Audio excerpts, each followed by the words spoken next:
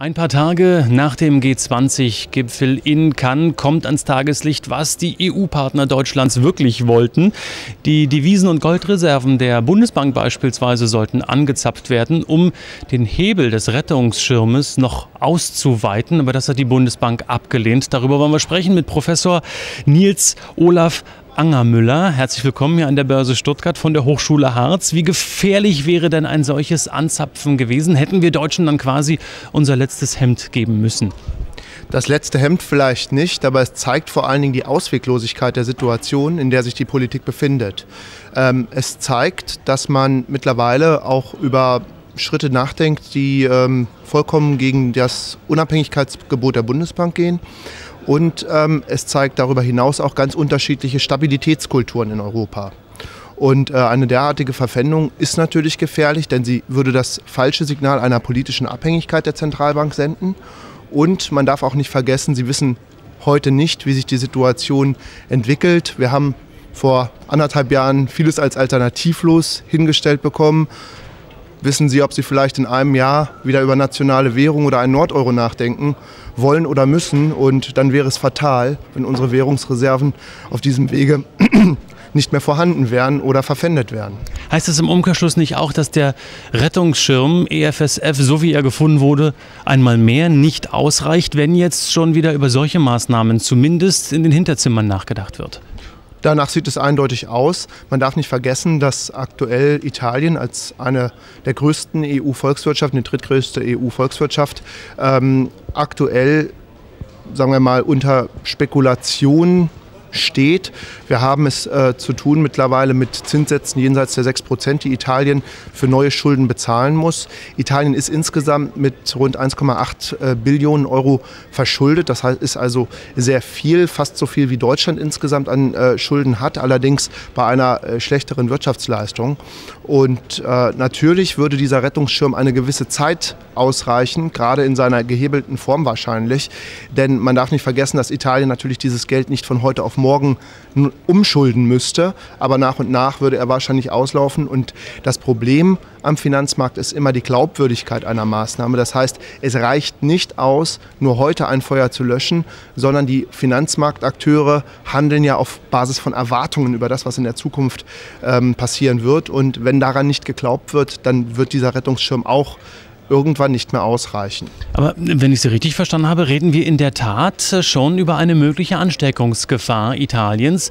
Auf äh, wie hoch würden Sie denn die Wahrscheinlichkeit beziffern wollen, dass es in der Tat ähm, zu massiven Problemen mit Italien kommt?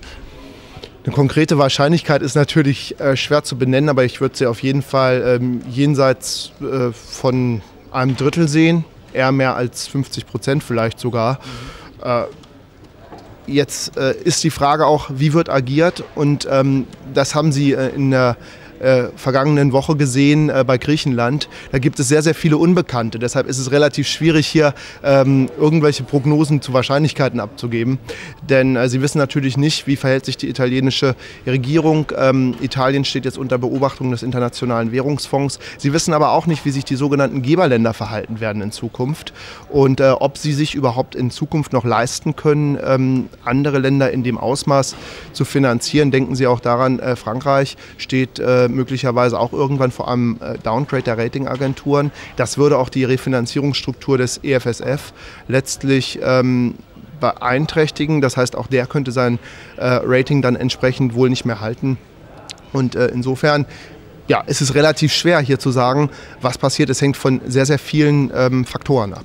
Aber lassen Sie uns noch ein Wort mehr zu Griechenland auch äh, verlieren, denn die stehen ja nun mal im Blickpunkt des Interesses. Politchaos heißt es da oder Politkrimi in den vergangenen Tagen. Papandreou wird wohl gehen müssen, wenngleich er die Vertrauensabstimmung gewonnen hat. Das ist ein Fakt. Aber es wird eine Übergangsregierung geben und die könnte möglicherweise unter Führung des ehemaligen EZB-Vizepräsidenten Papademos äh, äh, laufen. Ähm, kann Papademos Papademos als ehemaliges EZB-Mitglied äh, Vertrauen zurückgewinnen? Wahrscheinlich nur schwer. Denn er wird nicht in der Lage sein, das, was über Jahrzehnte in Griechenland falsch gelaufen ist, ähm, von heute auf morgen zu ändern. Er wird auch die Mentalität dort nicht ändern. Äh, Sie haben selbst ja mitbekommen, äh, wie schwer es in Griechenland bisher schon war, die Sparanstrengungen durchzusetzen. Und äh, Selbstverständlich sind äh, die Griechen, wenn man das einzelne Individuum äh, betrachtet, äh, zu Recht auch aufgebracht. Aber es ist klar, dass es so nicht weitergehen kann und wird, sodass ich persönlich mittelfristig äh, einen Austritt Griechenlands aus dem Euroraum für wahrscheinlicher halte, als dass Griechenland dort verbleiben wird. Mhm, damit auch ähm, ja schon fast meine letzte Frage beantwortet, wie die Prognose Ihrerseits aussieht, wie denn dieses Dilemma zu lösen ist. Zu lösen ist das Dilemma äh, aus meiner Sicht nur, indem man klare Schuldenschnitte in den besonders betroffenen Ländern vereinbart, indem man vor allen Dingen Glaubwürdigkeit zurückgewinnt. Das betrifft auch die Europäische Zentralbank, dass sie eben nicht weiter sich instrumentalisieren lässt. Es äh, gehen ja auch Gerüchte um, dass die Europäische Zentralbank äh, an der Verpfändung der deutschen Währungsreserven äh, ein kleines Wort mitgesprochen hat.